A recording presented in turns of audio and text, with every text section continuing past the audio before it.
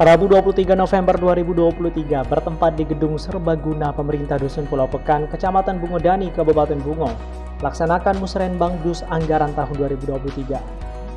Musrenbang Dus ini dihadiri oleh Rio Pulau Pekan, BPD, Babinsa, Babin Kamtipmas, pendamping desa, perangkat desa, RT, serta elemen masyarakat yang ada di wilayah Dusun Pulau Pekan.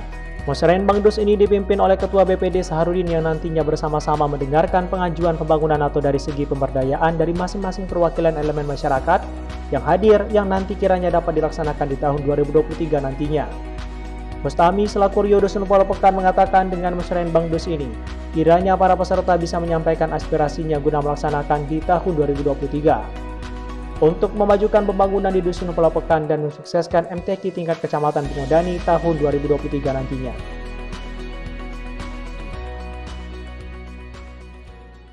Alhamdulillah pada hari ini kami pemerintah Dusun Pulau Pekan telah dapat melaksanakan salah satu tugas yaitu musrembang terus untuk anggaran 2023 yang mana anggaran 2023 mungkin kami masih mengacu dengan anggaran tahun 2022 jadi seluruh yang kami undang mulai dari Pak RT, Datuk Kepala Kampung, dan, juga seluruh ormas-ormas yang ada di Dusun Popokan ini. Yang diharapkan dari kami, kami minta kepada seluruh warga masyarakat Dusun Popokan, hendaknya agar dapat mengusulkan kepada pemerintah dusun kira-kira apa yang didahulukan. Itu yang pertamanya.